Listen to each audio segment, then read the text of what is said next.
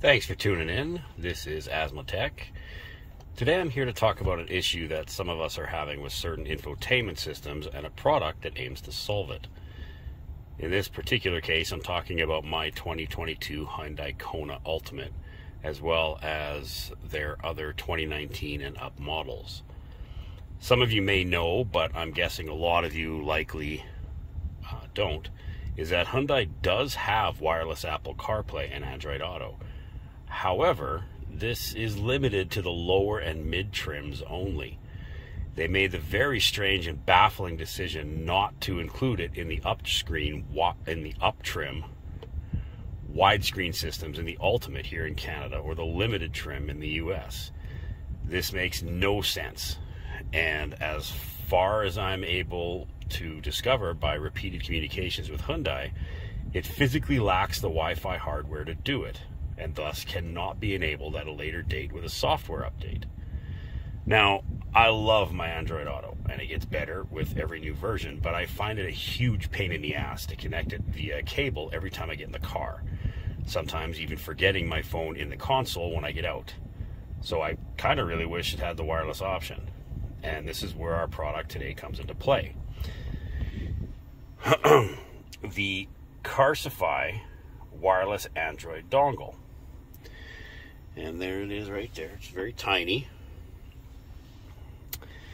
And um, this is for Android only. It doesn't work for Apple CarPlay. This device acts as a middleman of sorts. It makes your car believe the dongle is your phone attached with a cable while making your phone think the Carsifi is your vehicle's infotainment system. Obviously, this is a vast oversimplification, but that's kind of the gist of it. You use a companion app from the Google Play Store for initial setup and firmware updates for the dongle itself. However, after you have it all up and running, the app's no longer needed and you can actually uninstall it. I wouldn't recommend it though due to the aforementioned ability to update the Carsifi's firmware. The setup is pretty simple and straightforward. You start your car to prevent battery rundown, plug in the Carsifi. Wait for the LED to turn blue, fire up your app, while making sure your phone's Wi-Fi and Bluetooth are both turned on and follow the prompts. Now I had to change a couple of settings to get it to work properly in my vehicle, uh, namely disabling intercept AA protocols and turning on auto USB detection. And when the LED turns solid green, you're good to go.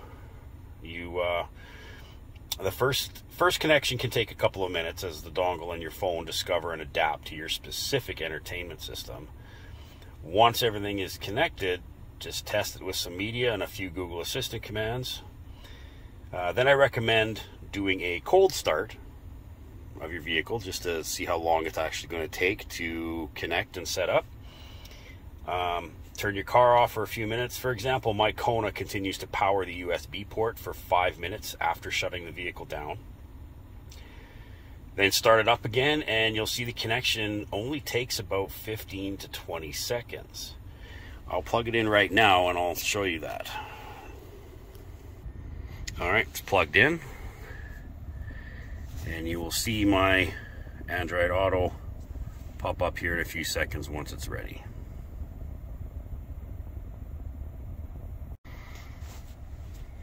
And that actually glitched out while I was uh, recording but it only took about 12 seconds. So it's connected now. And there we go. So yeah, it is working fine. Um, what do I think about this device from Carsifi? I love it. Now my phone can stay in my pocket where it belongs. All features work perfectly. In the week that I've been using it, I've only had two very brief audio hiccups. Kind of like a CD skip, if you actually remember what those sound like. There's no lag to the inputs, and I can't tell the difference in sound quality between this and the wired wired connection. However, it definitely does sound better than Bluetooth. All in all, I think this Carsifi wireless Android Auto device is an excellent choice to solve the problem that Hyundai created with these uptrim entertainment systems and other brands' vehicles without the wireless option built in. Now, to be completely clear, this does not add Android Auto to your car. It just adds the wireless ability. Your vehicle must have wired Android Auto built in for this to work. This is in no way a sponsored video, but if you think this might be a good match for you for for you and your needs, then the link to pick one up is in the description. And for now, take care and thanks for watching.